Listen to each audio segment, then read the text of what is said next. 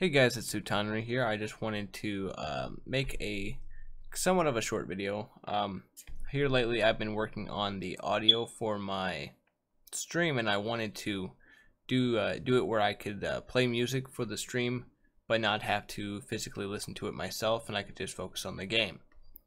Um, the only uh, solutions to that problem that I could find on Google or anywhere else was to download some sort of virtual audio cable.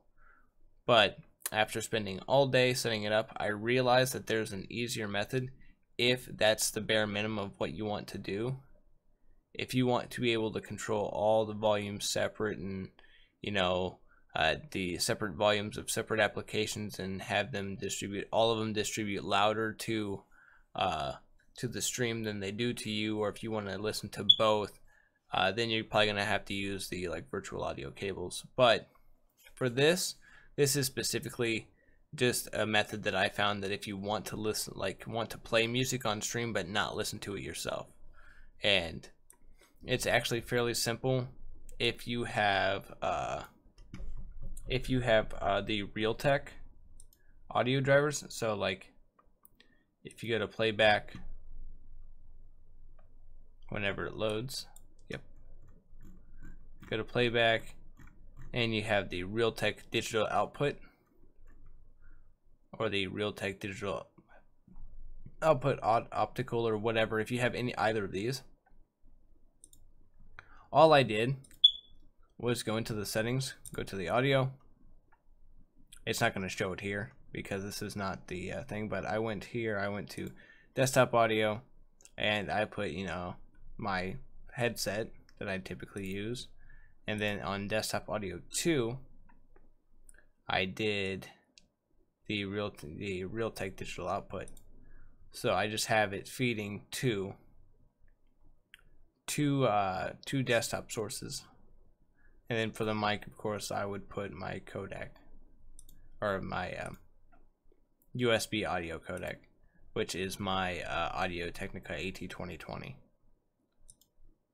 but it works uh, fairly well. Uh, so far, I haven't seen too big of issues. I, I, it took me all day to set up that uh, virtual audio cable stuff, but then I had to take it down because once I opened up an application that I had not configured, all the settings got jacked up, and I wasn't about to sit there for another six to eight hours fiddling with it again. So this was just an easier method.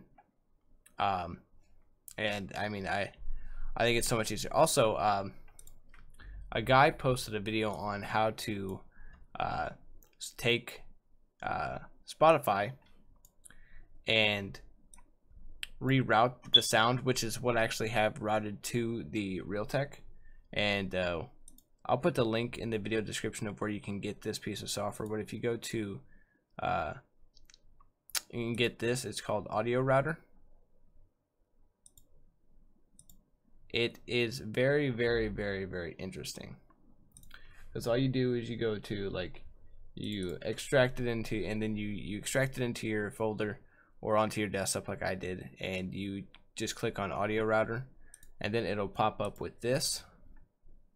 Then you can go to Spotify here and hit route. And then you pick Realtek okay and then boom, it does it. It's a so much easier than having to download that that plugin for Spotify that I couldn't seem to get to work. But yeah, so now I have Spotify streaming uh, or playing to my stream, and I don't have to hear it. And the I you know I record and test all the volume levels to make sure that uh, one's not more overbearing than the other. But of course, I'm always looking for feedback whenever I do stream. But Alright, well, if this video helped you guys, uh, feel free to leave a like, or if it didn't, leave a dislike. Um, all the links I mentioned will be in the video description below. I'll even link to the virtual audio cables. Um, if um, if, if you want to see more videos like this, where um, I figure stuff out the hard way and then let you know, then uh, leave a comment down in the comment section. Thank you guys for watching. Have a good day.